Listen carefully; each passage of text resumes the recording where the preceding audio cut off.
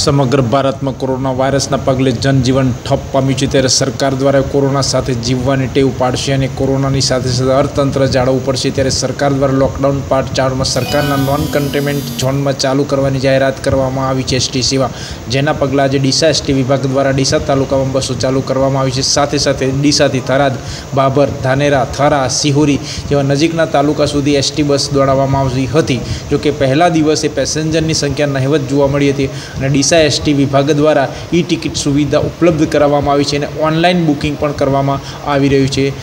Digital પેમેન્ટથી ટિકિટના પૈસા આપવા ડીસા ડેપો મેનેજર દ્વારા એસટી બસમાં મુસાફરી કરતા પેસેન્જરોને અપીલ કરવામાં આવી હતી. સોશિયલ ડિસ્ટન્સ અને માસ્ક પહેરવું જરૂરી છે. વધુ વાત કરીએ તો બનાસકાંઠા જિલ્લામાં અગિયાર કેસ કોરોના પોઝિટિવ આવ્યા છે, જેમાં વડગામમાં દસ, સગર્ભા મહિલાઓના કારણે પોઝિટિવ છે. સગર્ભા મહિલા સંક્રમિત દર્દીઓને કોઈ ખાસ બીમાર લક્ષણ નહીં.